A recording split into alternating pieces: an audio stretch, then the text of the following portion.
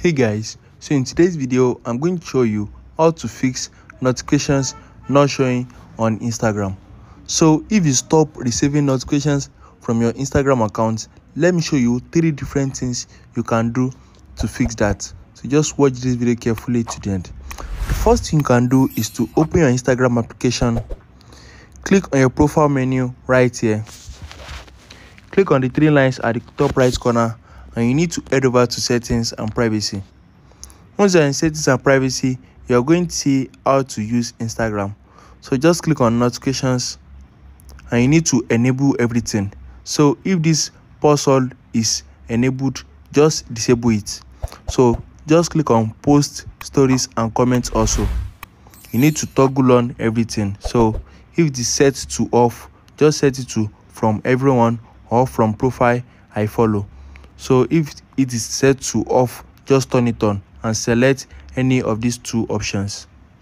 So once you have turned on everything for post turn off turn on everything for following and followers too. So just turn on everything. Also do that for message. Just turn on everything. And you need to do that for calls also. You need to do the you need to do that for everything in this place.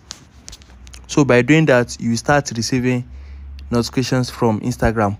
So if you did everything and you did not receive notification from your instagram the second thing you can do is to head over to settings scroll down and look for instagram.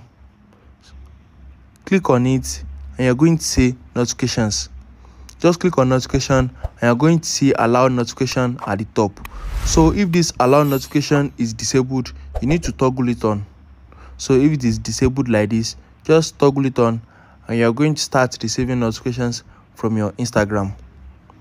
So the third thing you can do if you stop receiving notification from your instagram is to head over to general in your settings. Click on iphone storage. And you need to wait for this to load. Once it has load scroll down and look for instagram. Once click on instagram you need to offload this app.